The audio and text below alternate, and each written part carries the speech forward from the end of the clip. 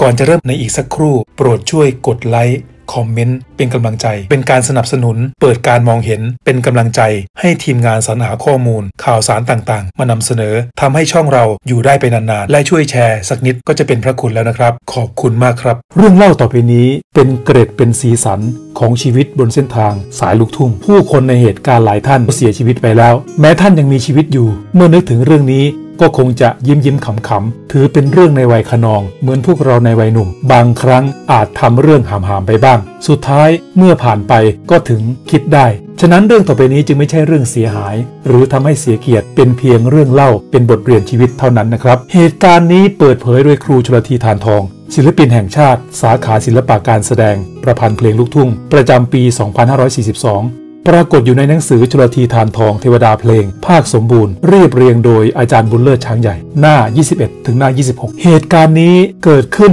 ในช่วงที่ครูชลที หรือตอนนั้นก็คือหนุ่มสมนึกทองมา ยังอยู่ในวัยหนุ่มที่ชอบด้านเสียงเพลง ยังไม่ได้เข้าวงการนะครับกำลังออกตะลอนตามฝัน และยังไม่ได้เจอเจอได้รู้จักกับครูสำเนียงม่วงทอง ตอนนั้นหนุ่มสมนึกเพิ่งได้เป็นนักร้องเชียร์รำวง คณะดาวทอง มาได้ราวๆหนึ่งปีประเวนร้องเชียร์รำวงไปเรื่อยๆ พอย่างเข้าปีที่สองก็มีเหตุการณ์ให้เขาเปลี่ยนจากเป็นกองเชียร์รำวง มาเป็นนักร้องลูกทุ่ง ประจำวงดนตรี ฟังดูเกรดดีกว่ากันเยอะเลยนะครับ เหตุการณ์นั้นเกิดขึ้นในคืนวันหนึ่ง บนเวทีรำวงคณะดาวทอง ได้มีนักร้องอาชีพที่มีชื่อเสียงโด่งดัง ระดับประเทศมาร้องโชว์บนเวทีด้วย เช่น ชัยชนะบุญโชตมิตรเมืองแมน และพจพนาวันเป็นต้น โดยทั้งหมดนี้เป็นนักร้องจากวงดนตรีเทียนชัยสมยาประเสริฐ ช่วงนั้นชัยชนะบุญโชตกำลังมีชื่อเสียงโด่งดังเต็มที่จากเพลงบางกอกน้อย และเพลงดอกดินทวินฟ้า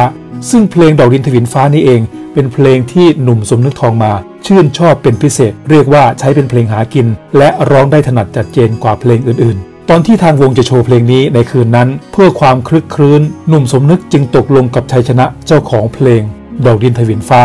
ว่าจะแบ่งท่อนการร้องเพื่อความแปลกใหม่ และสร้างความตื่นเต้นให้กับแฟนๆชัยชนะเขาร้องไปท่อนหนึ่ง ผมก็ร้องต่อท่อนหนึ่งเป็นการร้องประกบระหว่างนักร้องอาชีพชื่อดัง กับผมซึ่งเป็นเพียงนักร้องกองเชียร์รำวง ซึ่งยังไม่มีใครรู้จักครูชลทีเล่าย้อนอดีต การร้องครั้งนี้ทำให้นักร้องดัง อย่างชัยชนะบุญโชตได้เห็นฝีไม้ลายมือของหนุ่มสมนึก แล้วก็รู้สึกถูกชะตา ชื่นชอบน้ำเสียงและลีลาการเชียร์รำวงของเขา จึงเอ่ยถามหนุ่มสมนึกว่าเฮ้ยไอ้หนูเสียงเองดีเว้ยทำไมไม่ไปเป็นนักร้องวะคำตอบซื่อๆจากหนุ่มเมืองชนก็คือ ผมไม่รู้จะไปยังไง ชัยชนะจึงบอกให้เขาเดินทางเข้ากรุงเทพ ไปสมัครเป็นนักร้องวงเทียนชัย ที่มีสำนักงานวงดนตรี ตั้งอยู่แถววัดดงมูลเหล็ก หลังจากนั้นหนุ่มสมนึกก็ร้องเพลงกับรำวงคณะดาวทองต่อไปอยู่พักใหญ่ แล้วค่อยลาออก จากนั้นก็บ่ายหน้าเข้ากรุงเทพตรงไปสู่ย่านวัดดงมูลเหล็ก เพื่อสมัครเป็นนักร้องทันที เมื่อถึงที่หมายชัยชนะก็พาเขาไปพบกับเทียนชัยสมยาประเสริฐหัวหน้าวง เมื่อรู้ความประสงค์ว่าอยากมาเป็นนักร้อง และชัยชนะก็ช่วยรับรองว่าหนุ่มสมนึกเคยเป็นกองเชียร์รำวง ชื่อดังของเมืองชน และเคยร้องประกบกับเขามาแล้ว เสียงดี แถมยังแต่งเพลงได้ด้วย เทียนชัยจึงรับเข้าเป็นสมาชิกวง ที่นี่เองหนุ่มสมนึกได้รับการตั้งชื่อนักร้องเป็นครั้งแรกว่า โพไพรงาม เป็นชื่อนักร้องชื่อแรกในชีวิตของเขา แต่ว่าเจ้าตัวจะไม่ได้ชัดเจนว่า คนตั้งชื่อนี้ให้คือเทียนชัยหรือชัยชนะ ความประหลาดใจและคนอุ่นใจประการหนึ่ง ที่นักร้องหนุ่มใหม่ๆหมาดๆโพไพรงามได้สัมผัส จากวงดนตรีนี้ก็คือ เขาได้เจอกับนักร้องใหม่อีกคนที่มีชื่อว่าพนาวันลูกเมืองชน ซึ่งมาอยู่วงนี้ก่อนเขา ที่สร้างความแปลกใจก็เพราะพนาวันลูกเมืองชนนั้น เคยเป็นกองเชียร์รำวง จากคณะดาวน้อย ซึ่งเป็นคณะคู่แข่งของคณะดาวทอง ที่หนุ่มสมนึกเคยสังกัดอยู่ ที่อบอุ่นใจก็เพราะว่าเป็นคนเมืองชนบ้านเดียวกัน พนาวันลูกเมืองชนก็คือพนมนพพร ในเวลาต่อมานั่นเอง เมื่อหนุ่มเมืองชนสองคนที่เคยร้องเชียร์รำวงแข่งกันมาก่อน ได้มาเจอกันที่วงดนตรีเทียนชัย ก็ทักทายกันอย่างดีอกดีใจ เฮ้ย มายังไง ดีดีเว้ย มาอยู่ด้วยกันสนุกดีเว้ย ดีใจได้มีเพื่อนมาจากชนบุรี คนบ้านเดียวกัน หนุ่มสมนึกอายุมากกว่าพนาวันหรือพนมนพพร ราวๆ8ถึง9ปี แต่ว่าพนาวันนั้นเข้าวงการเพลงก่อนเขา แม้ว่าทั้งสองจะมีวัยต่างกัน แต่ก็กลายเป็นเพื่อนเกลอคู่หูที่รู้ใจกันสองคนนี้เป็นที่ไว้วางใจของเทียนชัย ซึ่งเป็นลูกพี่และหัวหน้าวง ขอปูข้อมูลพื้นฐานนิดหน่อยนะครับ ดังที่หัวดี Channel เราได้นำเสนอประวัติของเทียนชัยสมญาประเสริฐไปแล้ว ในคลิปที่มีชื่อว่าอัมพฤกษ์ทำพิษปิดม่านชีวิตอดีตดาวดัง คู่แข่งคนสำคัญของสุรพลสมบัติเจริญ เทียนชัยได้ชื่อว่าเป็นคนที่มีนิสัยนักเลง ชอบไปในทางบู๊และชอบเรื่องหมัดหมัดไม่มวย เคยเป็นนักมวยฝีมือยอดเยี่ยม นิดที่เคยได้รับคำชมจากแจ็คเดมเซ่อดีตแชมป์เปี้ยนโลกรุ่นยักษ์มาแล้ว และก็ให้บังเอิญว่าทั้งหนุ่มโพไพรงาม และพนาวันลูกเมืองชน ก็เคยเป็นนักมวยและเคยต่อยมวยมาแล้วเช่นกัน นี่อาจเป็นเคมีที่ตรงกัน มีความชอบเหมือนกันทำให้หัวหน้าวง รักใคร่ใจคอ และไว้วางใจ นักร้องสองหนุ่มจากเมืองชนเป็นพิเศษ อย่างไรก็ดีมีภารกิจหนึ่งเป็นงานสำคัญที่ไม่ได้เกี่ยวกับงานวงดนตรี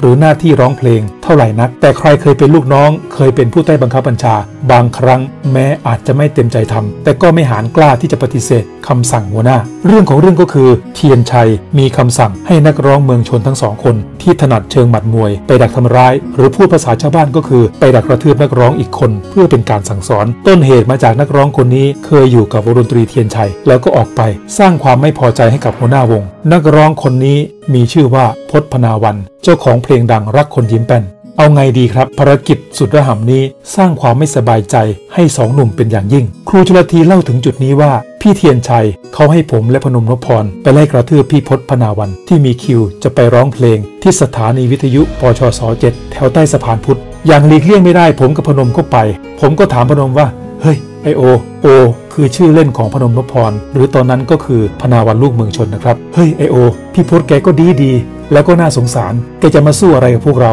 เอางี้ก็แล้วกันครูจุลทีออกความเห็นเพื่อหาทางออก เองไปต่อยฝากำแพง ให้มือมันฟกช้ำดำเขียวสักหน่อย แล้วก็ไปหาพี่เทียนชัย รายงานแกว่าต่อยแล้วเรียบร้อยทำตามหัวหน้าสั่งแล้ว หนุ่มโอได้ฟังก็โอเคตามแผนนี้ หลังจากนั้นทั้งสองก็ไปพบหัวหน้าวง แล้วก็แจ้งไปว่าไปต่อยพจพนาวันเรียบร้อยแล้ว เทียนชัยได้ฟังก็ว่าเออ สมน้ำหน้ามัน และมันว่าไง เขาไม่กล้าสู้พวกผมครับ หนุ่มโพไพรงามตอบ เออ ลูกน้องเทียนชัยมันต้องได้อย่างนี้ เป็นคำยกยอจากหัวหน้าวง ที่นักร้องจากเมืองชนทั้งสอง หาได้ภูมิใจไม่ ภารกิจระห่ำจึงคลี่คลายลงตัวในลักษณะนี้ โดยไม่มีใครเจ็บตัว เว้นแต่หนุ่มโอที่ต้องทนเจ็บมือไปหลายวันจากการชกกำแพง เหตุการณ์ช่วงนี้มีเกิดที่น่าสนใจอีกอย่างหนึ่ง ที่ครูจุลทีเล่าไว้ เห็นว่าสอดคล้องกันและน่าสนใจ เราเลยขอนำมาพ่วงเล่าด้วยนะครับ สืบเนื่องจากการชอบเรื่องหมัดหมัดมวยมวยของหัวหน้าเทียนชัย เวลาว่างจากการแสดงดนตรี จึงพาลูกน้องออกกำลังกายด้วยการซ้อมมวย แต่แล้วก็มีเหตุการณ์หนึ่งที่ทำให้เทียนชัยเลิกซ้อมมวยไปดื้อๆ ครูจุลทีเล่าว่า พี่เทียนชัยเคยซ้อมมวยกับผม ผมกับไอโอ เราเป็นนักมวยทั้งคู่ตั้งแต่เป็นนักเรียน ปรากฏว่าขณะซ้อมไอโอ เตะก้านคอพี่เทียนชัยเลย จนพี่เทียนชัยบอกเลิกซ้อม ตัวแกเตี้ยๆไม่สูง ก็เลยถูกซัดก้านคอ ต่อมาพี่เทียนชัยก็เลยไม่ซ้อมกับพวกเราอีกเลยแกยังบอกไอหอกสองตัวนี่มือตีนหนักเหลือเกินวันดีชแนลขอขอบคุณทุกการรับชมรับฟัง ทุกการติดตามขอบคุณมากครับ